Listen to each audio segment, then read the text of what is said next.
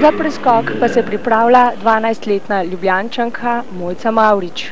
Doma je iz znane gimnastične družine, njen oče trener v zeleni jami, mama Bernarda Mavrič, mednarodna sodnica. Mojci je prvi skok zelo dobro uspel. Včeraj je prijela za svoj nastop na preskoku oceno 9.30, v mnogoboju pa je bila včeraj deseta.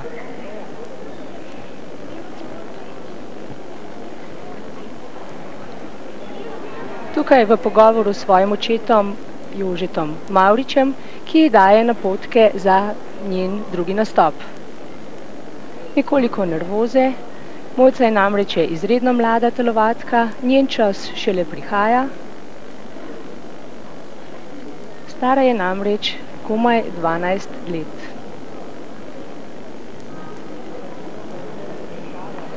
Trenutni rezultati na preskoku v vodstvu Rota Italija pred Horvatovo in Peričevo Slovenija. Za prvi skok je Mojca Mavrič prijela oceno 9.25. Včeraj je odlično skočila premet salto, upajmo, da je bo ta skok tudi danes uspel. Poglejmo.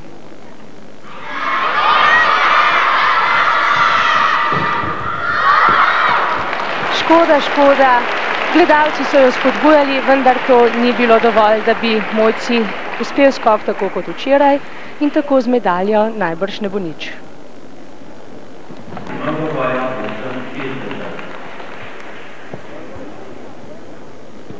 In to je nastop na gredi Mojce Mavrič. Zanimiv naskok, kolo na gred, obrat 360, izveden čisto, rahel spodrsljaj pri prvi akrobatski prvini, vendar Mojca nadaljuje izredno sproščeno.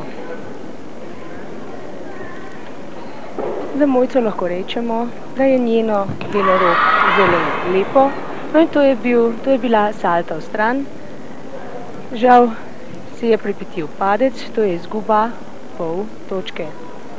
Telovatka v primeru, da pade z orodja, ima 10 sekund časa, da nadaljuje svojo sestavo.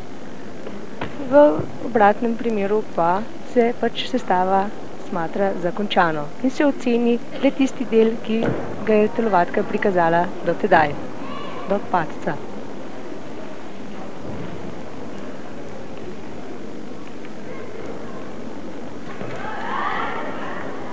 To je bila prvina Rabr to celo dvakrat povezana.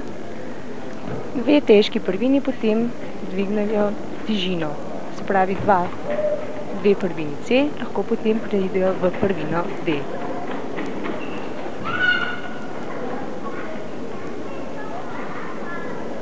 No in to je Mojcin zelo atraktiven skok. To je sonožna salta naprej z obratom 540 stopin, ki jo je njen trener moral najaviti pred tekmovanjem, ker je ni v ženskem pravilniku. Čakamo še na oceno Andreje Kiš. Andreje Kiš so sodnice dosodile 7-75. Za svoj zadnji nastop na današnjih finalih pa se pripravlja Mojca Mavrič, mlada reprezentantka Slovenije. No, sestava Mojce Mavrič bo povsem drugačna od predhodnice, kajti Mojci izredno ležijo akrobatske prvine izvedene naprej. Mojca zelo temperamentna telovatka. To je že skrčena salta naprej 360 v takojšno povezavo salte 720, z obratom 720 stopinj.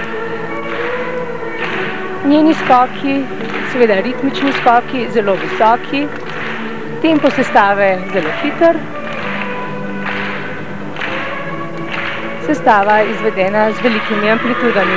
In tu je že druga diagonala, salta naprej in pa stegnena salta naprej z obratom 540 stopinj. Kot sem rekla, mojci izredno ležijo salte naprej. Skok visoko daleč z zamenjavo noge, dvakrat, stoja z obratom 720 stopinj. Tole je bil arabor, bolj za povezavo kot za pridobitev težine. In še enkrat salto z obratom 360 stopinj.